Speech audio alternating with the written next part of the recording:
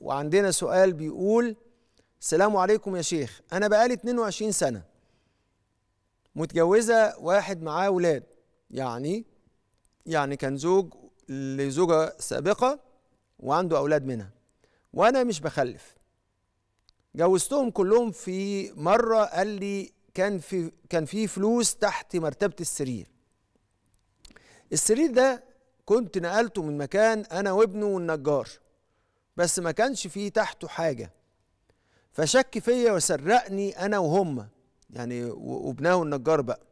المهم ودانا مكان اسمه البشعه حتى اسمه بشعه والعياذ بالله.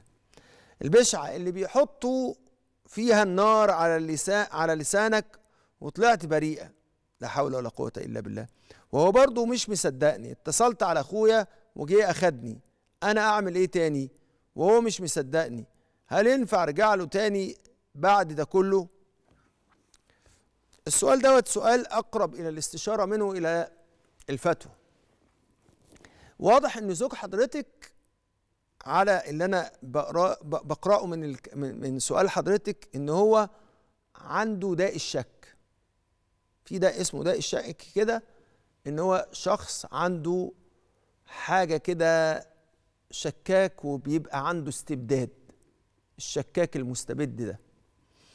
الشكاك دوت بيبقى دايما بيشك في اللي حواليه دايما شايف اللي حواليه بيتأمروا عليه دايما شايف اللي حواليه طمعانين فيه دايما شايف اللي حواليه بيحاولوا ياخدوا منه كل حاجة هو بيملكها ويخلوه لوحده كده. طيب انت بتسأليني انت دلوقتي سبت بيتك ورحت مع أخوكي في بيت أخوكي أو بيت والدتك. فإيه اللي حاصل؟ وأنت سبت البيت. سبت البيت ليه؟ لأن زوجك خلاكي عملتي حاجة من الخرافة. خرافة يعني هيبتدي بقى يخليكي تعملي حاجات من عالم الخرافة اللي زي إيه مثلا؟ زي البشعة كده. البشعة دي عبارة عن خرافة. خرافة ليه؟ لأن ما ينفعش الحقوق الناس إيه اللي يحصل؟ تثبت أو تنفى بهذه الطريقة اللي ما يرضاش ربنا سبحانه وتعالى. فاتهم حد أو برأ حد بلا شيء. أنت بتقولي إن هي برأتك لكن هو أصلا مين اللي اتهمك؟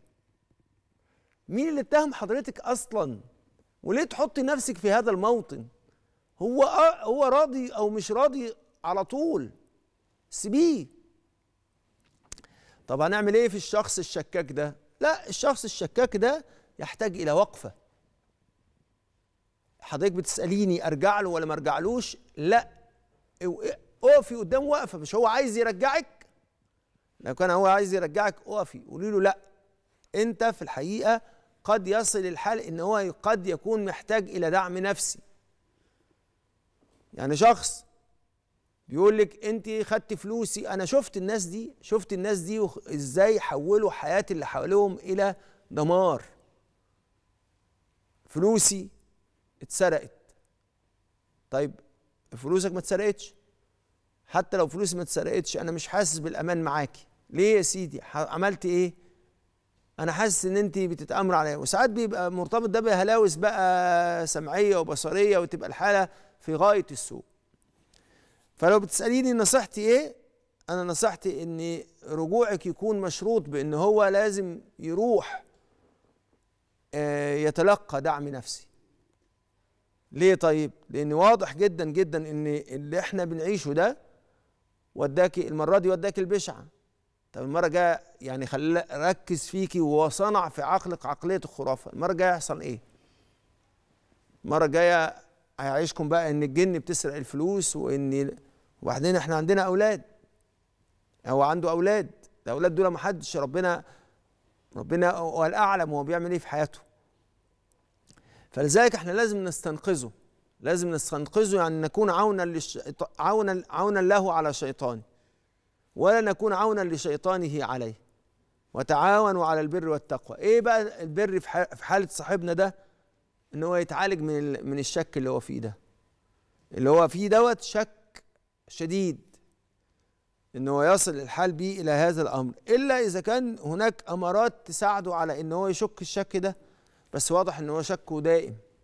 فإذا كان شكه دائم بالصورة اللي إحنا شفناها ده وبيوصل المسائل إلى هذا الحد يبقى إيه اللي حاصل؟